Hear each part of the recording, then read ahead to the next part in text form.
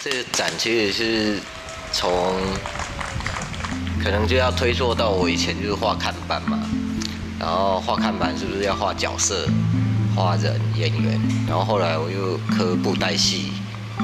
那也都是在人的表现上，相形之下就是又跟宗教像画庙啊什么的。之类，很多年都在那种，其实说是工作，也可以说创作；说是创作，也可能是工作。一直到现在啊，很确定要做仙仙仙，其实也好几年了，但是一直没有贵州啊那个做贺啊呢。然后二零一零年啊，就已经答应白屋说要在他美丽的小空间办展览。其实我算是一个很多变的，因为我第一个我也可能是个演员，可能也玩音乐，在别人认为可能比较非学院，就会觉得我不知道在干嘛。我也好像没有什么论述啦，你论一个数，你好像就要去附和这个论述，然后去实践这样的一个行为。我觉得这对我来讲可能会有压力，所以我就开始去观察人，观察我以前的过去所做的那一些事情。在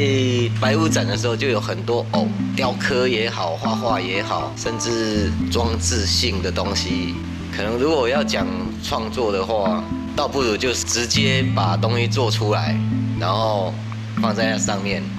让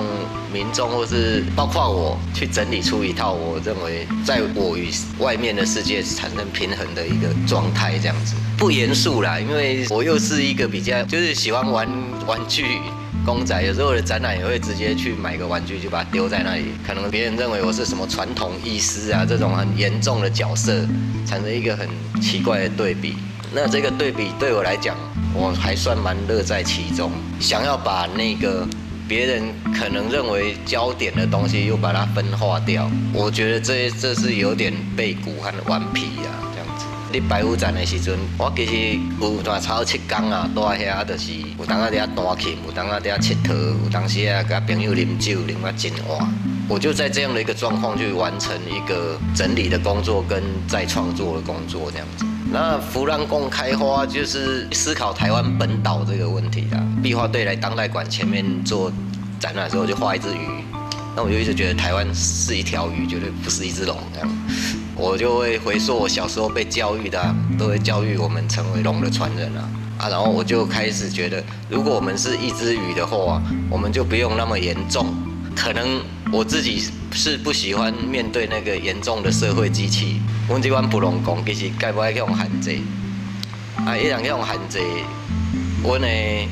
我们的灵感就会不见了啊！我们会侧面的。去，比如说反 BOT、反美丽湾、反反核，然后这些社会运动的东西，我我就又很有兴趣，因为那个时候你根本不用去当做一个主导的人物，但你只要进到那个小螺丝钉就好。所以在创作上，我也一直觉得不大想当领导，想要当那个陪衬者、小人物这样子。然后这这一次展的东西，可能就是多年的经验这样累积下来。所以先先先对我来讲，我觉得弗兰公开花是我对台湾人的期许。我觉得这很很快乐，然后就觉得所有的朋友都是生啦吼，啊啊台湾那几位快乐的鱼啊呢，做代志免伤紧张，啊自然就会使个代志做好啊。这一次的展间哦，是比白屋的高度高出一倍以上，然后。所谓的那个频数其实差不多了，然后我就在白雾的时候，只要是一张大画，可能就就会顶到天花板。那所以我在当代馆的时候，我就把比较大张的画放了进来。对我那种小展览要变成这样高挑，其实有点小困难，所以我就待了好多天，他们瞧来瞧去的，然后我就觉得，呃，效果真的是还不错，因为我把那。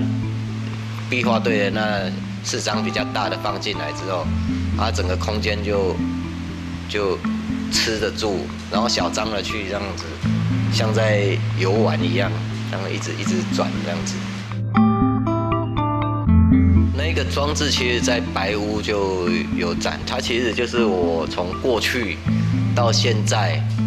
的创作所有经过的一些过程。那我只要在做那一个船的当下，我其实也在回忆我从过去到现在不管是雕刻布袋戏、做竹节人玩偶，甚至现在在玩那个小玩具公仔，就是我觉得那是我非常轻松的一件事情。那那也像一条船，也像一条轨迹。那我那个有一个大漂流木是以前在北艺大漂流木艺术节做的，那刚好是一个脸，然后我就从那个脸里面开始延伸，觉得他，然后他眼睛是闭着的，好像这是他的梦。对，那在我的现实里面，它也是一个事实，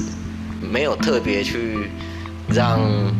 啊让它非常的明确，我也没有说啊几年到几年做什么就做什么做什么，然后我让它跳动，让它整个空间跟那种装置雕塑产生一种比较不一样的观看方式，这样子。这次作品其实我比较